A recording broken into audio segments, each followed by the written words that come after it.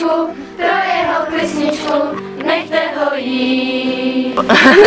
tak naučíme se vlastně čistit koně, sedlat, uzdit, hmm. pak vlastně vodit, nebo to se neučíme, ale vodíme. A pak vlastně nasedat a vlastně v kroku se učíme nějaký cviky. A pak ty starší nebo ty zkušenější vlastně klus, klusat. No a pak možná i díl cválat.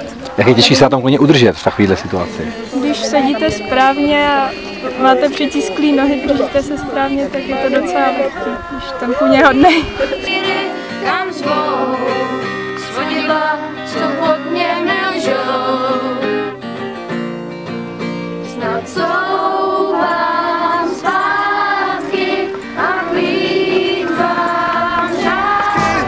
co svou, že už mi doma neotevřou.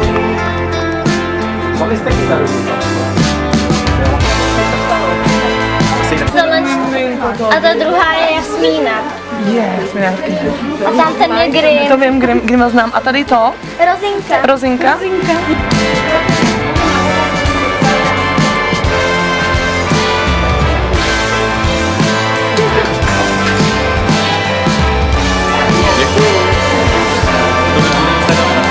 Muzáci právě teď probíhá nová soutěž tady na táboře. Eh, Letní tým Rade Impuls, včetně pana ředitele Hrabáka, hodnotí, která krabička je nejhezčí. Ty krabičky vyráběly děti, museli je pomalovat, no pojďte se na ně podívat. A teďka řešíme, která je nejhezčí. Ale je to hrozně těžké, no. Pojďte na to.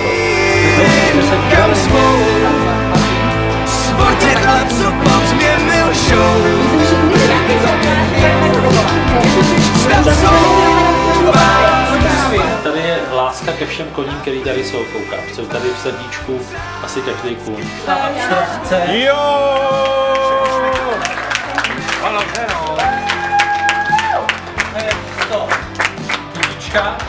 Dobře, no.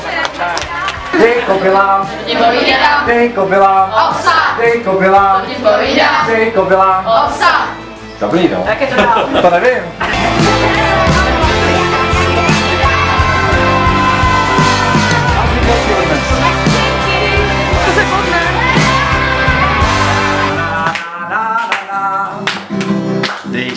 Zamiluje kůň.